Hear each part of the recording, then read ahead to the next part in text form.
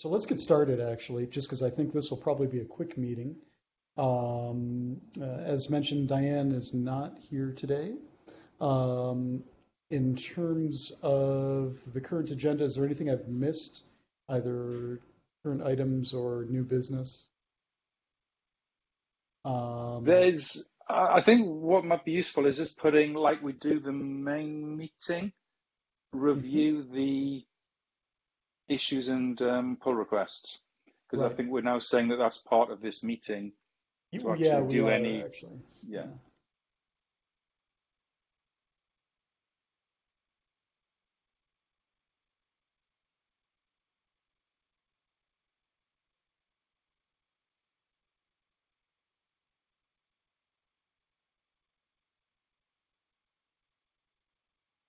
pull requests and then new business. Uh, okay, so, and don't forget to put your name in the attendance part of the document.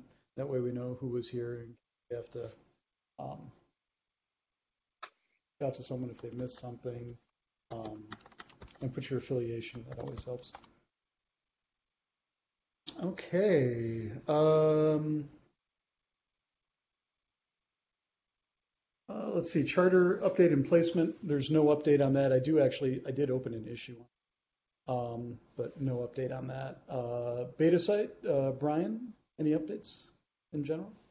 Um, other than it's no longer beta, uh, it's, it's um, running as normal. Um, from last docs meeting, I've added the section on how to actually create new content. We got three sections there. We got one if you want to install the stuff locally, one if you want to use Podman or Docker. And then the other one, if you wanted to use in cluster with Che, I've added a dev file to the repo. And so any feedback on that will be greatly appreciated. Um, I also noticed that in the working group session, I missed the main working group. I put all the sub working groups, but I actually hadn't put anything about the main working group. So I, I changed that. Um, and obviously the two links in the bottom, the GitHub now goes to the OKD, OpenShift OKD main repo instead of the, the Commons. And with the new Twitter handle, that's now in the bottom comment as well. But the Facebook of goes to the OpenShift Facebook. So they're the changes since the last docs meeting. But as I say, it's now business as usual. I think moving forward, it's no longer beta. We're, we're, we're live. We're um, no one screamed that it's terrible and we should revert it back or anything like that. So I'm calling it done. This is closed. It's it's now production. All right, excellent. Thank you for all of your work. Any questions from anyone on website stuff?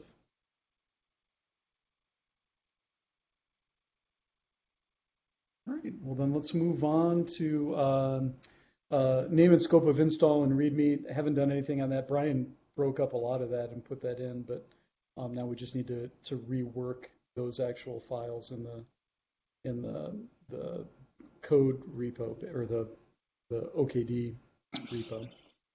Yeah, I was, was going to ask. Yeah, I was going to ask, how do we want to organize that? Because what a lot of um, community sites have is they have, if you want to use it, there's one section which we're more or less catered for. But are there different use cases for technical information in terms of if you want to learn how to customize a build, if you want to extend and add new capability? And I'm just thinking, how do we want to do that? Because I think some of the information in there will fall into that sub subgrouping or subcategorization of information so it might be worth just thinking about right. how we yeah. want to organize documentation generally for the. I want to do more than use OKD. I want to be able to get under the covers and do stuff. Yeah, and I think that this is a conversation we might want to loop Vadim in for some of. Definitely. My sense is that the the README on the OKD repo um, should just be this is how to file an issue. This is what you should do if you have an issue. This is what you should do if you want to talk about something like breaking down the, the issues and discussions section of that Yeah. repo for, for actual code related stuff. I Yeah. think modifications should go on the website. How to do modifications and do. I, I, do, but me. but at the minute he's got some information about like how the build is constructed and things like that. I think we want the- that in technical documentation. Yeah, Yeah. I, Um, I, I I think at the end of it, it, it comes to what is the purpose of that repo. yeah, and I mean, so if we look at this here, let's, uh, let me bring it up actually real quick. Um, And I agree, some of that needs to come into the website, but it's then how do we organize it in the website to make it Yeah. useful and So, yeah, let me share my screen here real quick and let's let's talk about this for a second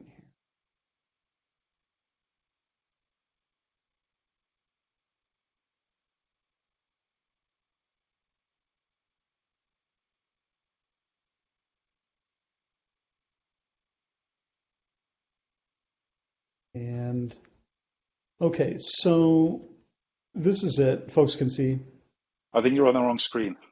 Uh, what are you seeing right now? I see a window with downloads in it. Oh, hold on. Let me see here.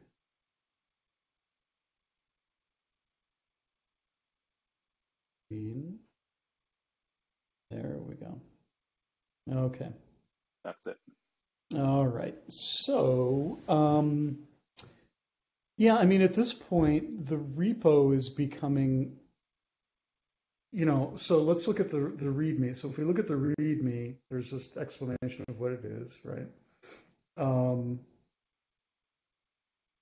a sentence about the working group, and then But, but I mean, if, getting. if, if you look at the getting started, it tells you how to extract 4.5.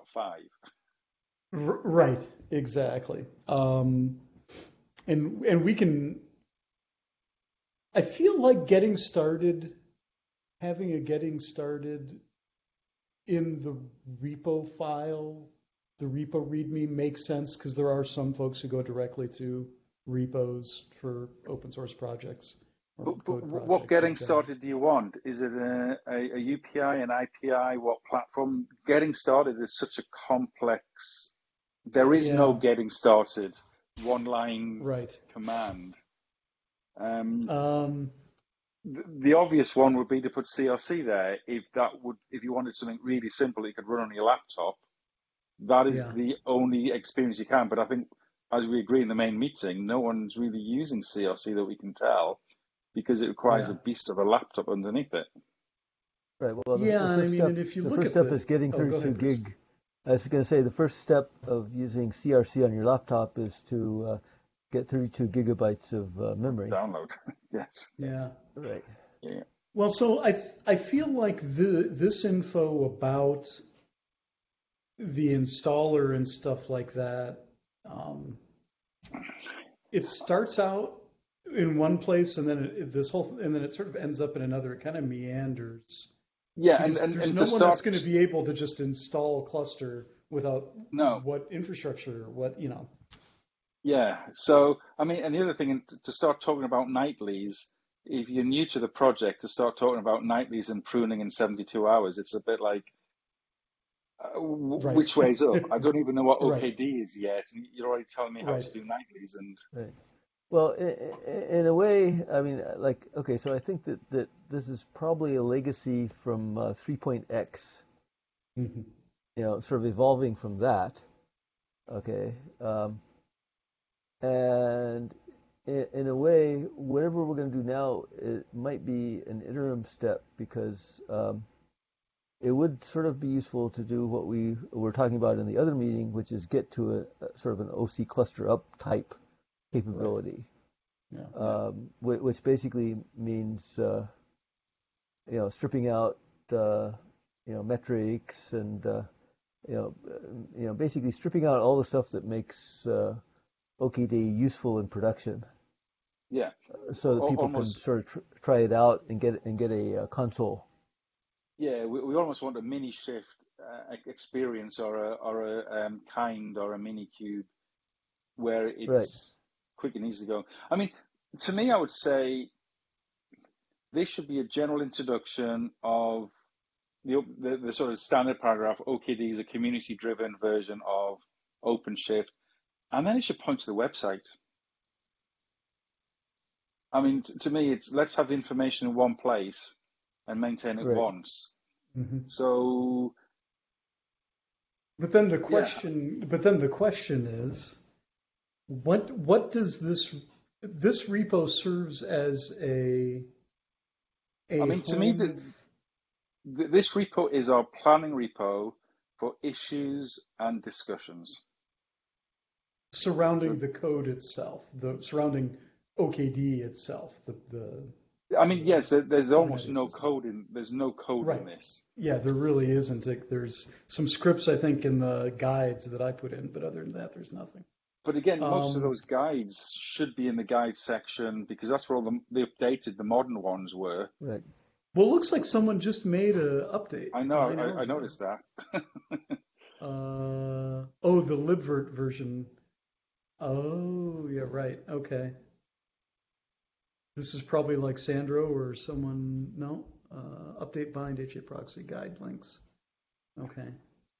Um, Because I mean, the, the problem is if they're there and you're in the documentation, you're not going to Yeah. find them. If you're so, we need the information in one place. Yeah. And maybe we take it to the other meeting that we shut down all content in here and move it onto the website if it's going to sort of persist. yeah. Well, because this has Um, all been rewritten. This one I wrote, and that one's that's old, old. Uh, vSphere Terraform. Um, yeah, actually, these shouldn't have been updated. What we should have done is pulled them a while back because Right. that's part of the stuff that was rewritten and moved over um, to the work that Mike did. Yeah. Um, And they're now all on our website. Right. So let's do that then. Let's bring this to the greater group that we limit guides and we limit this repo to just discussions and pull requests and um, issues related to the code base itself Yep. or the, the release itself. And then we modify the README to go to um, The docs. the docs. Now, what about known issues? Because Vadim is probably going to ask about that. Do we keep known issues and FAQ here, or do we do them? At, well, FAQ is on the website now, right? Yeah, I, I, I did copy the FAQ onto the website, but again, known issues. Again, I would move. Yeah, th- this should literally punt everybody over to the docs. The docs should be where all the information is. I mean, part of the reason of updating the documentation technology is it's now trivial to update. Right. It's a markdown file. It's trivial to update. So I, I would say that that is the single source of information. And this is purely for discussing changes, raising issues, as, as we've highlighted in our sort of community guidelines. That this is a place where you talk about changes and potential bugs. Um, and that's the purpose of this repo now Yeah. information is on the website, and this is a sort of a a way of managing issues and and bugs. It's so, and I'm, as I scroll down, I'm seeing that it's like learn more. They like way down the page, they talk about like what you can do with it. Uh, Yeah. Yeah. Uh, so, um, is there anything here that should stay other than this first paragraph? And then it should just link to the website, or should it have like a list of links for these things, like getting started? I, I think we um, just put them to website because that's all in the website. Um, Then, if, if we want to reorganize a website, this doesn't get left behind. Um, I okay, think yeah. there but- is stuff but that's then- not. Yeah, Brian, excuse, excuse me. Uh, aren't you really saying that uh, there is no use for this repo? Well, it, Like it it should, it should all, we should really close this one down? Well, no, the, Well- for co- for content, it shouldn't have any content. But this is our planning repo, so this repo is purely for the discussions and the issues.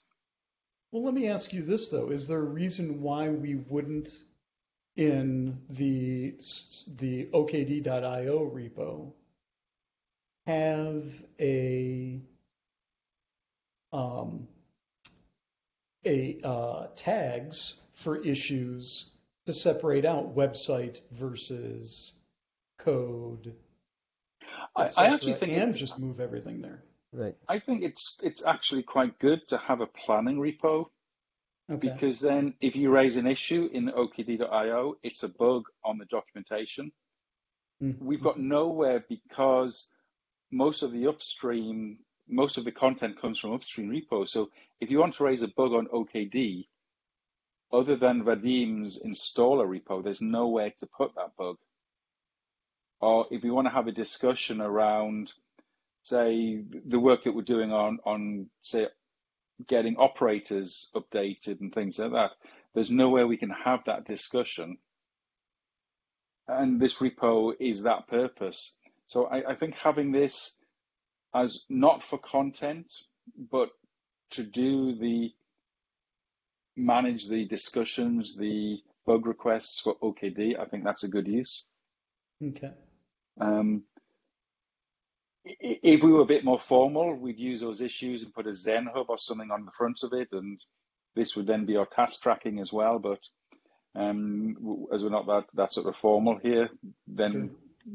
we just need the discussions and the the issues, Now, the one the one hitch with this repo is that, in essence, then it means that we will continue to, any community contributions will continue to be at the um, uh, uh, so this this one because it's under OpenShift slash Red Hat control, none of us can contribute to this directly. It all has to get approved by either Christian or Vadim, or I think that's it. I think those are the only two people that are actual. Um, But but isn't there a long term in the other meeting to actually bring up and go to GitLab and and move out of the OpenShift there, there, there is, there Yeah. yeah. Now, I and I actually, I've, I actually created a ticket with Diane's name on it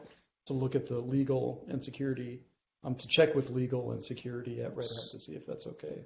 So Um, ideally, we we want to shut this one down. We want to shut the OKD.io down and move them both to the new GitHub, the OKD org, wherever that's going to end up living. Sure. Um, that's the way I would see it going, and then community members can then be admin. Um, All right. Yeah, that's that makes sense. So let's run this by the main group then, uh, and see where we go from there. See if anyone has any concerns about doing that. Okay, Um, so- because So just Yeah. to summarize, Jamie, then our proposal is to move the content to okd.io and leave the discussions and issues uh, here. yeah, Okay. Yep. Uh, Yep. All subject to everything moving. right. Yeah. Thank you. Yeah. Yep. Thank you for summarizing. All right. So next up is, uh, let me find this here. Um, da, da, da, create, build a code of conduct. Um, Michael isn't here to respond on the status of the code of conduct. Uh, Driti, survey. Uh, uh, okay. Hi, Jamie. Uh, just give me a second. Let me fix my uh, earphone. One second. Sure. Okay, uh, I'm gonna share my screen. Can you see my screen? Yes, we can. Uh, so th- uh, this is the user survey that I have created. Uh, I'm gonna share it with um, you and everyone else so that you know for feedback. Um, but how does this look? I have compiled. All, this was the question. Um, this is about eight eight questions over here. Mhm. Um, this was suggested by somebody in the last um, uh, uh, meeting. Uh, what version of OKD are you using? Although it's not in in this uh, this discussion, but it was suggested last time, so I added it over here. So the questions are, what version of OKD are you using? What is the biggest challenge you face using OKD today? What, which critical features do you need that are not available in OKD today? Uh, how many people in your company are using OKD? Again, this question is not posted here, but somebody mentioned it in the last meeting, so I added it over here. Uh, Well, which let me let me ask you something about the before you move on. Let me ask you Yeah. about that one. Um, uh, maybe should we maybe, you know, and I can I can comment on this as well, but Yeah. should we maybe, um, what what do we mean by using it? Like developing on it, administering it, like um, we might want to clarify like like what we mean by using it Okay. or write the sentence in such a way that that it's uh, you know And and I, and I think the other thing is, uh, sorry, I missed the, the first couple of questions. Um, Yeah. are, are you asking, are you using it in a business or personal context? oh that's a good question yeah Yeah. Because obviously that, that question doesn't make sense. And what we don't want to do is we, we, we don't want people to think, oh, you only want business users here. So Okay. home home lab is a valid use, and we want to just sort of make them feel that yeah, that this question is for them as well. Mm, Okay. yeah A- And you should also think about uh, multiple versions because people can be easily using, uh, you know, like at the moment, 4748. Ah, okay. So I should Oh. make this a checkbox, right? check Yep. boxes yeah Uh, and what and make it plural for the question yeah A- And now, do you want to? Is it possible that somebody is just in for interest and they're not actually using it, but you know, you want to get what are they interested in?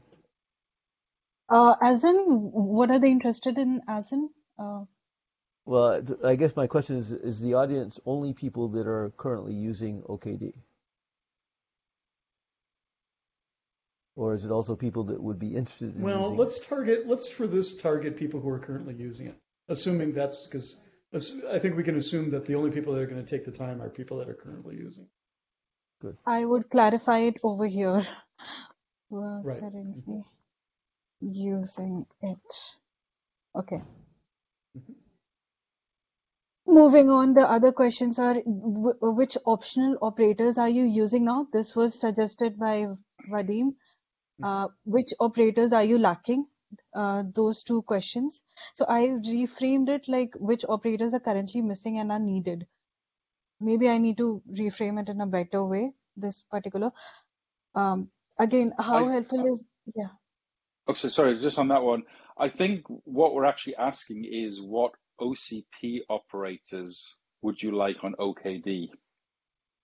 Because uh. I, I, that's a very Yeah. open question in terms of what operators are missing. Well, And- so and that's from- an interesting question. Do we anticipate, and this is more, I guess, for the larger group, do we ever anticipate adding content uh, like operators that are not default in OCP? In other words, do we ever anticipate adding operators, default operators, that go beyond what OCP has filtered down to OKD? Sure, I I would say why not? I mean, operator is a Kubernetes term, not an OCP term. Yeah, but I, I, I think the, the question comes down to we already have the community hub, the operator hub operators, they're already Hmm. available. Yeah, What we true. don't have are the Red Hat provided private catalog and Yeah. marketplace And catalog. granted, that's an opinionated question because we, obviously, us here are aware of the fact that there's been a delay on that. Yes, but but but I think that's the question that I think Vadim was probably asking in Mhm. terms of which Red Hat operators. Um, Okay, which Red Hat operators? because I mean, I, do we actually want to open the question up to the? Okay, so how about two questions and Okay. like that that one, which is the main question, and then sort of an open-ended uh, any other operators. Okay. Okay, okay. Okay. By the way, there's, I don't know if folks saw the discussion, I'll just mention here. Um, matter of fact, I need to log into the issue and comment because I mentioned that I would and I just haven't had a chance yet. But um, last week, someone pointed out that um, they found the error as to why uh, it's a FluentD and journaling issue as to why the logging operator isn't available yet. And the response from the person at Red Hat will, was, well, eventually the versions um, will sync up, uh, and you know, then we'll be able to release the logging operator for OKD.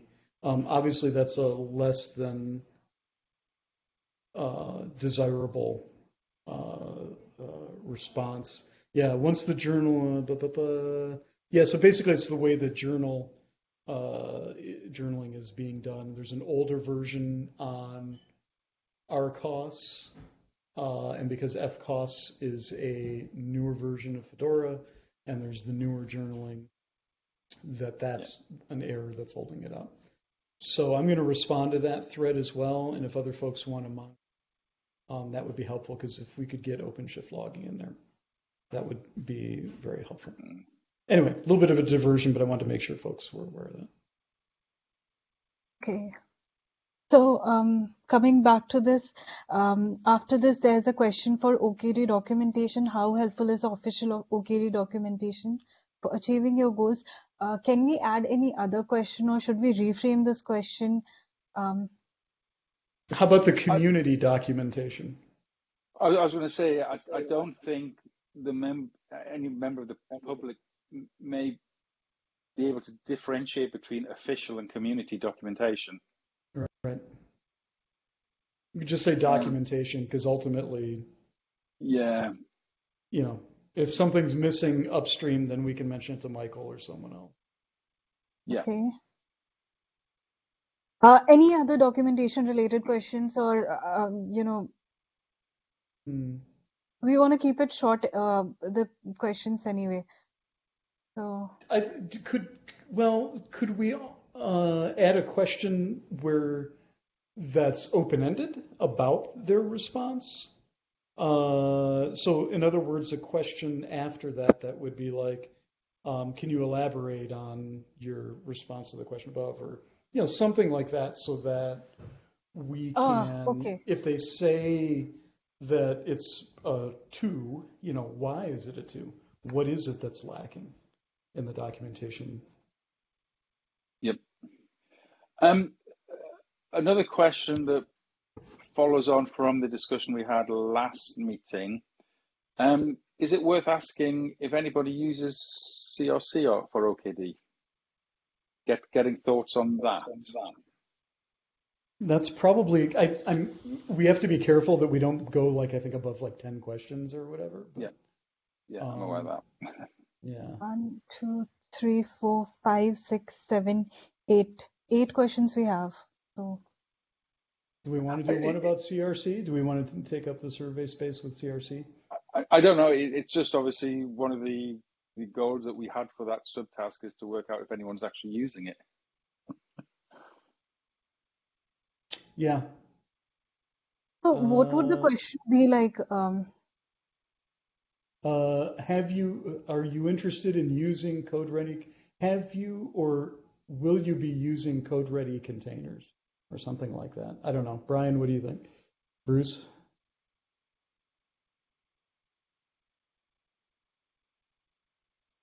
Yeah, I guess that, that is sort of two separate things, isn't it? Uh, one question is, do we want to know if people have been using it?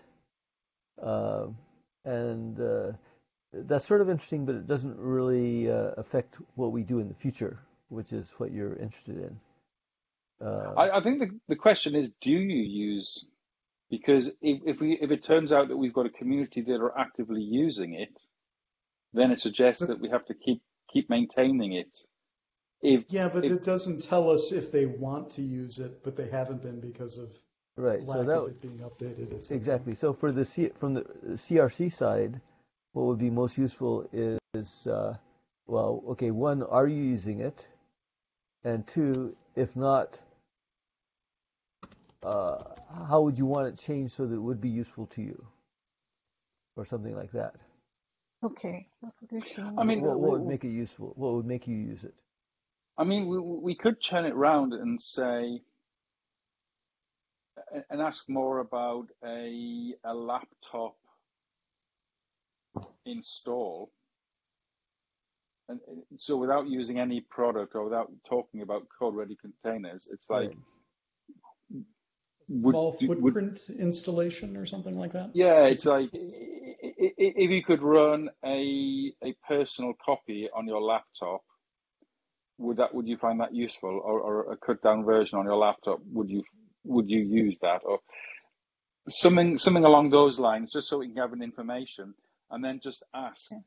what's the memory footprint of your laptop, 8, Right. 16, 32, 64 gig, and just Right. see what people are willing to tick. Because that, that would uh, I don't know.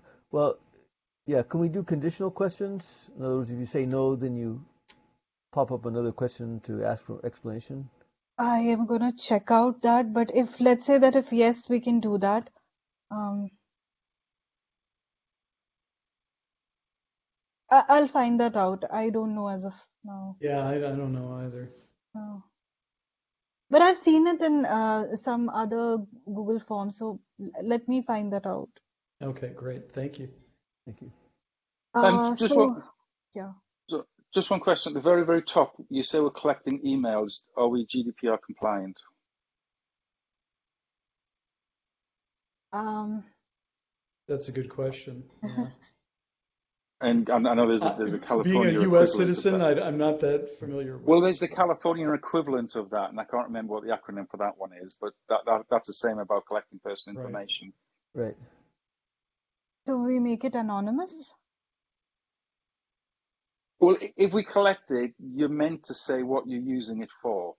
You have to say why you're collecting and what you use, what Okay. you're going to use it for. How about at the, how about at the, here's what I've seen is at the bottom saying, if you would like us to reach out to you to discuss your responses, please leave your email. That Okay, makes it okay. optional for them and it states what we would use it for. And Yeah. we would say something like, we won't share it with anyone else. Yeah. Yeah.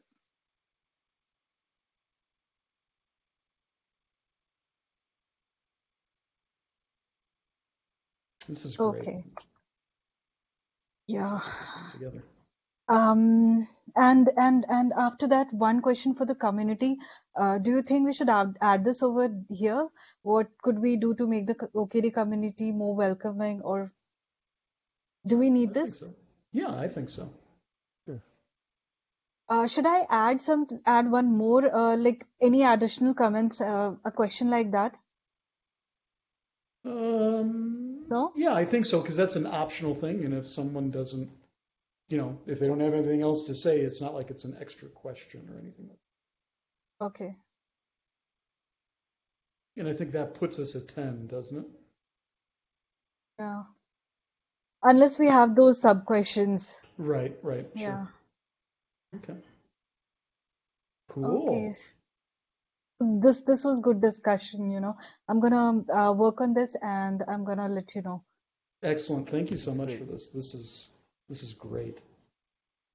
Um, so moving ahead, can I talk about the Twitter thing that Yeah, uh, because I realize it's probably really late at night for you, and we are eternally grateful that you are sharing your time with us this late at night. That's very wonderful of you, and it's very much.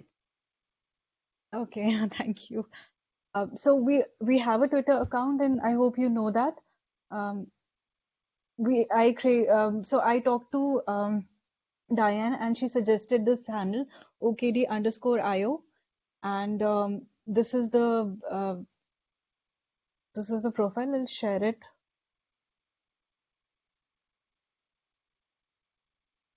Um, we sent our first tweet, and uh, the your question was about how to, uh, you know, giving the Twitter access to others. So I think I'm gonna. I, I don't know. I'm, I'm. I shared all the password and everything with Diane already, but I saw something like this. So maybe, uh, um, you know, we could share this um, this through TweetDeck. Oh, interesting. Yeah, I'm not familiar with it. Even I am not, but uh, I saw this over here in the settings, so I thought that um, you know, do that. Okay. Yeah, I think that's worth checking out for sure. So All let right. me start with Diane, and then we can. Uh, I'll share it with Diane, and then uh, we can take it from there. Who else to add? That's awesome. Okay. All right. Any questions on the Twitter stuff? Any comments on the Twitter stuff? Who, who's actually monitoring that on a daily basis if you get a question? Is there somebody that gets notified or It's just me for now. just you? Okay. Yeah. You know what you might uh, want to. Oh, go ahead, Brian. Sorry, I thought you were. I was going to say, and you're, you're happy doing that. Yeah. Yeah. For now, yes. It's it's not not not a difficult job, but So one thing that we might we might want to do is start following others because then you build up the grid, the social grid, Yeah. basically. So um, maybe start following back people, not just anyone who follows, but you know, um, right, exactly, like the SIG. Maybe follow some of us. Um, follow other Kubernetes-based um, Okay. Twitter handles, other GitOps Twitter handles, things like that. these GitOps based Twitter handle. Okay. hmm Yeah, Kubernetes and GitOps. Okay. I saw there the Fedora su- suggestion as well. Oh, so yeah. Fedora Mhm, CoreOS, yeah. that would be a good one as well. Yep. Okay. Cool. Cool. All right. Thank you for Let's see. this. Thank you so much. See what we got next on the agenda here. We're actually going longer than I thought we would. Um, do that was the survey, new business Twitter access. We did that, and that's actually about it. Um, Issues, issues. Oh, yes, issues. Sorry. I'm I'm not used to it yet, obviously. Um, so let's go to uh, issues. The only New reason is there's issues. one, there's one I want to close off. Right. Uh, and update the group charter is in there. Gather legal input. I put these in like just a bit ago. Um, Yeah. So there's, a, there's the one that Alessandro uh, Sandro Yeah. about the security and should we have a section. We sort of said we're Mhm. going to defer that to us. Yeah. So that's probably one that we need to talk about, whether this meeting or the next one. And the one I actually want to close off is the last one on the list, the modification required for inclusive language. I Yep. put a comment in there. Um, we've got 66 instances of the word master, which gets flagged by the inclusive tool.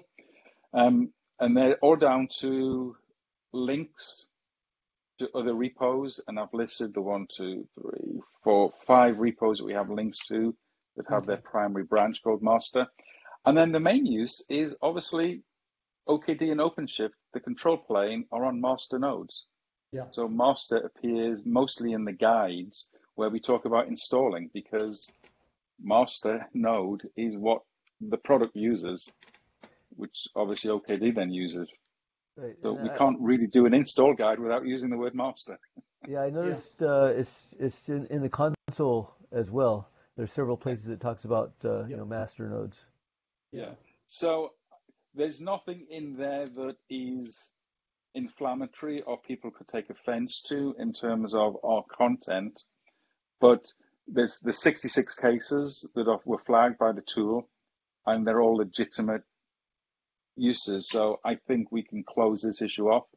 Um, I did look at could we make this part of the publishing pipeline, but the issue comes then it's it's a subjective dis- decision. There is not a sort of yes or no case because, like with these 66, you have to look at it and say, is this offensive? Is this bad use of language? And in all of these, there's a there's a valid use that either the other Git repos are going to have to rebrand their default, or we're going to have to get the product to remove Right. what they call the master nodes or the control plane nodes. So um, I'm proposing that we close this issue with no further action needed. All right. What do other folks think? Well, I guess okay. I'm I'm totally happy with that. Uh, my question is, do we need Diane's blessing uh, coming from the Red Hat uh, side of things? Probably a good idea, since since they are the sponsor of this. Yeah, that's a good point. What's Diane's? D Muller 2001, G, isn't it? Mueller, it. you're right. Yep. hmm Um,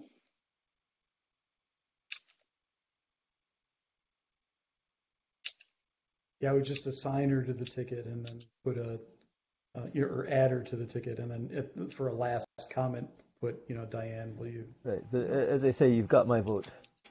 Right. Anyone else on the call have any thoughts on this? I put a comment in asking Diane. Okay. Anyone else have any thoughts?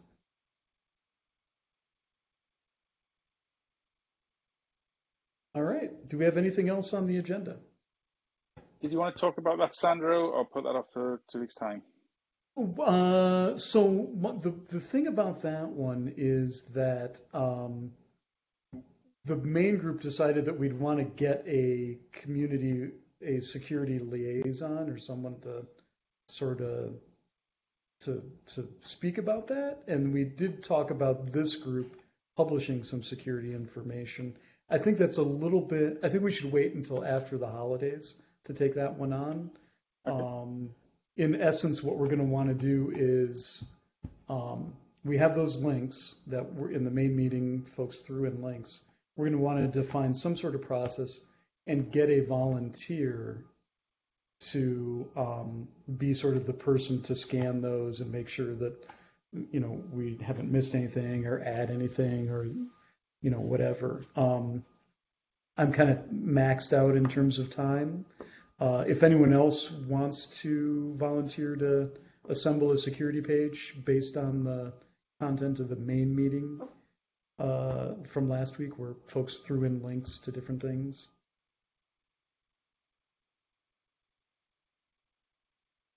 Yeah, my You sense is a lot of people are kind of maxed out right now in terms of time. Yeah. So let's let's take this up um, uh, in December, uh, and we'll we'll circle around and and um, you know basically we need a web page that puts all those links in a nice coherent way with some explanation, and then provides like a contact um, or it, actually a description of if you think you have a security issue. Um, you know, reach out to X email, which we don't really have a dedicated email right now uh, for this stuff that goes to the group, right? But at the end of the day, I think it's going to have to go to a Red Hatter because we, other than cooking an installer, everything else is. But what if it's something with the installer? Then it has to go to Red Hat and then down to Vadim's repo. Who's still a Red Hatter? Yeah, I guess that's true. Yeah, that's true. All right. Is there anything else that we want to talk about?